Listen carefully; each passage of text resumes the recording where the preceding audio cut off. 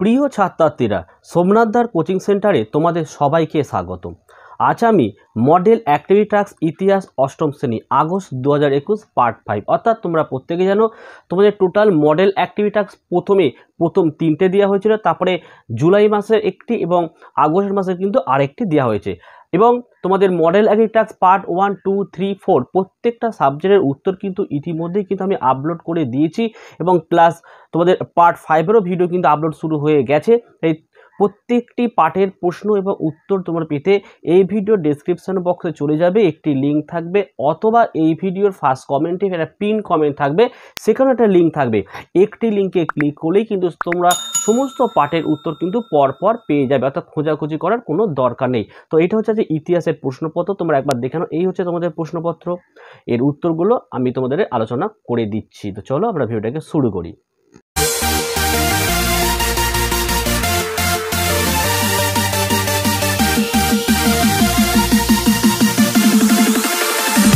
আমাদের এখানে একের দেখে বলা হচ্ছে ক স্তম্ভের সাথে খ স্তম্ভ মেলাও। এখানে ক স্তম্ভ, এখানে খ স্তম্ভ দেওয়া হয়েছে। তো তোমরা ভালো করে দেখতে পাচ্ছ, এক পয়েন্ট দেখো দেওয়া হয়েছে দেখো দেখো, আপ ও আপ। এটা হচ্ছে একটা কর, এটা হচ্ছে বে আইনি কর। অর্থাৎ এখানে তোমরা দেখতে পাচ্ছ, ক, খ, গ, এটা অবশ্যই ঘ করে নিও। তো ঘ এটা হচ্ছে অ্যান্সার এবার এক পয়েন্ট দুই তোমার দেখে নাও, সাহুকার। সাহুকার, এখানে অপশান ক, মহাজন। মহাজনদের সাহুকার বলা হতো। এক পয়েন্ট তিন, দাদন। দাদনটা কি? অপশান, এখানে খ হচ্ছে অগ্রিম অর্থ। এক পয়েন্ট চার দেখে নাও, দেখো, রায়ত। রায়ত এটা কৃষক, ঠিক আছে? কৃষকের সঙ্গে যুক্ত, তার একটা ব্যবস্থা একটা। তো অপশান একের দাগের ক স্তম্ভের সাথে, খ স্তম্ভটা তোমরা প্রত্যেকেই বুঝতে পেরেছ। তো চলো, এবার আমরা দুয়ের দাগের প্রশ্নটা কি দিয়েছি, একটু দেখে দেখো, বলেছে, সঠিক তথ্য দিয়ে নিচের ছকটি পূরণ করো। তো দেখো, এখানে বিদ্রোহ দিয়েছে, এখানে একজন নেতার নাম, এখানে কারণ যে কোনো একটি কারণ লিখতে হবে। তো চলো এই উত্তরটা আমি খাতায় লিখে রেখেছি, তোমরা দেখে নাও। তো তোমরা দেখতেই পাচ্ছ, আমি এখানে বিদ্রোহ লিখেছি, এখানে একজন নেতার নাম, এখানে কারণ। তো প্রথমে ছিল আমাদের নীল বিদ্রোহ, একজন নেতার নাম হচ্ছে দিগম্বর বিশ্বাস। কারণটা দেখে নাও, যে মাত্র মাত্র দু টাকার বিনিময়ে চাষি তার এক বিঘা জমিতে নীল চাষ করতে বাধ্য হতো। কোনো চাষি দাদন নিলে সারা জীবনেও পরিশোধ হতো না এবং এই কারণের জন্যও কিন্তু একটি নীল বিদ্রোহ হয়েছিল। তারপর চলে আসছে আমাদের বারাসাত বিদ্রোহ। একজন নেতার নাম হচ্ছে আমাদের তিতুমির কারণ দেখে নাও, বারাসাত সহ বিস্তীর্ণ অঞ্চলে জমিদার, নীলকর ও কোম্পানির অপশাসন এবং এর ফলেই কিন্তু আমাদের বারাসাত বিদ্রোহ কিন্তু শুরু হয়েছিল। চলে আসে এবারে আমাদের সাঁওতাল বিদ্রোহ। দেখো সিধু হচ্ছে আমাদের একজন নেতা। এবার কারণ দেখে নাও। সাঁওতালরা বনাঞ্চল পরিষ্কার করে ও পাথুরে জমিকে, এটা কিন্তু পয়কা থয়সুরে, পাথুরে জমিকে আবাদি জমিতে পরিণত করে তারা অঞ্চলটির নাম দেন দামিনীকহ। কিন্তু কোম্পানি এই জমিতেও চিরস্থায়ী বন্দোবস্ত চালু করেন। তো এর ফলেও কিন্তু সাঁওতাল বিদ্রোহ একটা কারণ। চলে আসতে পারে মুন্ডা বিদ্রোহ। দেখো, মুন্ডা বিদ্রোহের এক নেতার নাম হচ্ছে বিরসা মুন্ডা। এবারে মুন্ডা একটি কারণ তোমরা দেখো, ছোটনাগপুর অঞ্চলে বহিরাগত জমিদার, মহাজন ও ঠিকাদারদের আগমন ঘটলে বহু জমি মুন্ডাদের কাছ থেকে তাদের অধীনে চলে যায়। তো আশা করি তোমরা এই প্রশ্নটি বুঝতে পেরেছ। তো চলো আমরা পরের প্রশ্নগুলো দেখে নিই। এবারে তোমরা তিন পয়েন্ট এক, দেখো কি বলেছে? পণ্ডিতা, রমাবাই কেন স্মরণীয়? তো এটা কিন্তু তোমাদের মাথায় রাখতে হবে যে তিরিশ থেকে চল্লিশটি শব্দের মধ্যে লিখতে হবে।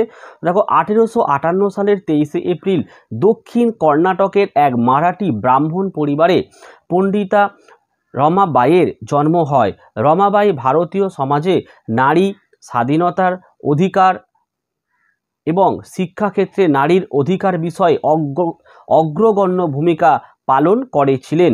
তিনি মূল হিব্রু এবং গ্রিক থেকে তার মাতৃভাষা মারাঠিতে বাইবেল অনুবাদ করেন। ঠিক আছে? তো চলো আমরা তিন পয়েন্ট দুয়েরটা বলা হয়েছে। ইয়ং বেঙ্গল দলের দুটি সীমাবদ্ধতা উল্লেখ করো। দেখো, এখানে সীমাবদ্ধতা মানে হচ্ছে ব্যর্থতা। তো আমি লিখেছি, দেখো, এক নম্বর, ইয়ং বেঙ্গল দলের কোনো গঠনমূলক কর্মসূচি ছিল না, ফলে তারা তেমন জনসমর্থন পায়নি। দু নম্বর, দেশের দুর্দশাগ্রস্ত কৃষক ও শ্রমজীবী মানুষের সমস্যা তাদের কর্মসূচির অন্তর্ভুক্ত হয়নি। তো দুখানা সীমাবদ্ধতা আমি কিন্তু বললাম। তো চলো আমাদের চার নম্বরের প্রশ্নটি তোমরা দেখতে পাচ্ছ। সম্পদের বহির্গমন বলতে কি বোঝো? কিন্তু এই প্রশ্নটি তোমাদের বলেছে একশো কুড়ি থেকে একশো ষাটটি শব্দের মধ্যে লিখতে হবে। তো দেখো, এই উত্তরটি খুবই ছোট তোমাদের বইতে আছে, কিন্তু একটু বড় করে অবশ্যই আমাকে লিখতে হয়েছে। তো লেখা দেখো সতেরোশো পঁয়ষট্টি খ্রিস্টাব্দে ইস্ট ইন্ডিয়া কোম্পানি দেওয়ানি লাভের সুযোগে সরাসরি রাজস্ব আদায়ের অধিক গ্রহণ করেন। এর ফলে কোম্পানি অনিয়ন্ত্রিত শোষণ শুরু করে নবাবের অক্ষমতায়। বাংলার সম্পদ নিষ্কাশনের কোম্পানির স্বার্থ ছিল ক্রমবর্ধমান। সতেরোশো ছেষট্টি থেকে আটষট্টি খ্রিস্টাব্দের মধ্যে সাতান্ন লক্ষ পাউন্ড বাংলা থেকে ইংল্যান্ডে, ইংল্যান্ডের হাতে চলে গিয়েছিল। পলাশি যুদ্ধে জয়ের পর কোম্পানি অষ্টাদশ শতকের মধ্যভাগে বাংলা ও ভারতের অন্যান্য প্রান্ত থেকে কোনো প্রতিদান ছাড়াই বিপুল পরিমাণ অর্থ, বিভিন্ন পণ্য ও উৎপাদিত সামগ্রী ইংল্যান্ডে নিয়ে গিয়েছিল। এই ঘটনাটি ঐতিহাসিক ও সমালোচকদের মতে সম্পদের বহির্গমন নামে বা সম্পদের বহির্গমন তত্ত্ব নামেও পরিচিত। তো আশা করি তোমরা প্রত্যেকটি উত্তর কিন্তু যথাযথ পেয়েছ। যদি ভিডিওটি ভালো লাগে, অবশ্যই তোমরা একটি লাইক করো এবং বেশি বেশি করে এই ভিডিওগুলো তোমরা তোমাদের বন্ধুদেরকে ফেসবুক এবং হোয়াটসঅ্যাপে শেয়ার করো, যাতে তোমাদের প্রত্যেকটি বন্ধুই কিন্তু এই প্রশ্নের উত্তরগুলো পায় তাহলে আজকের ভিডিওটি আমি এখানেই শেষ করলাম। তোমরা প্রত্যেকে ভালো থেকো এবং সুস্থ থেকো।